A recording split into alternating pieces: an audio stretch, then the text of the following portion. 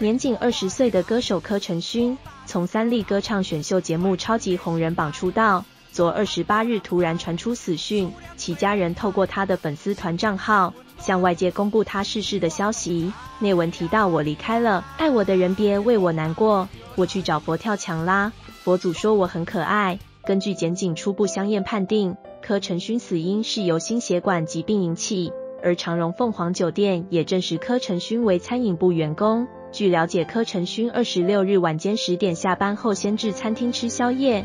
而柯承勋家人因等不到他下班，遂向警方报案。等到二十七日凌晨三点三十三分，警方和柯承勋家人抵达酒店后，发现其反锁在更衣室内一间厕所，立即解锁。当时柯承勋已无呼吸、心跳，现场人员也立即急救。等到救护车抵达后，立刻送往礁溪信和医院急救。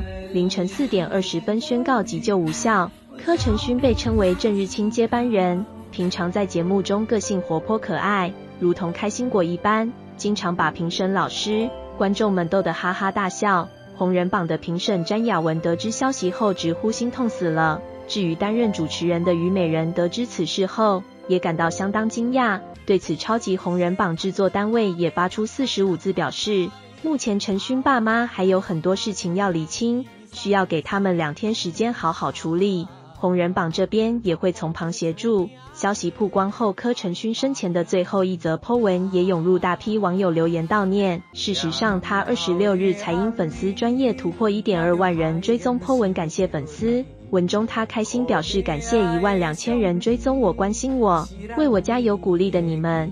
没有你们就没有假鬼假怪的柯承勋。此外，他还抛出一位粉丝阿姨送的礼物，表示特别感谢桃园一位阿姨寄来一对亲自编织的金银貔貅开运手环，结善缘保平安。